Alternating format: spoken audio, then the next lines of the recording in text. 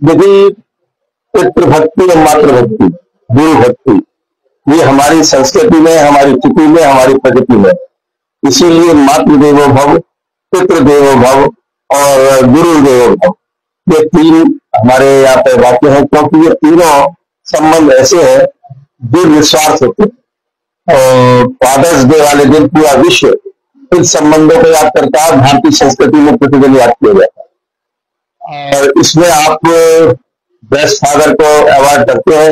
एक जिनके पुत्रों ने स्थान प्राप्त किया होता है अपने पिताजी के व्यक्तित्व कृतित्व से प्रभावित होकर तो एक अच्छा पहल है और तीसरी बार कर रहे हैं। इसके लिए आपको शुभकामनाएँ।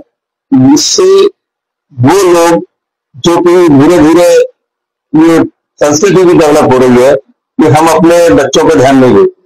तो उन माता पिताओं को प्रेरणा मिलेगी कि बच्चों को ध्यान देने से बच्चे मुकाम हासिल कर सकते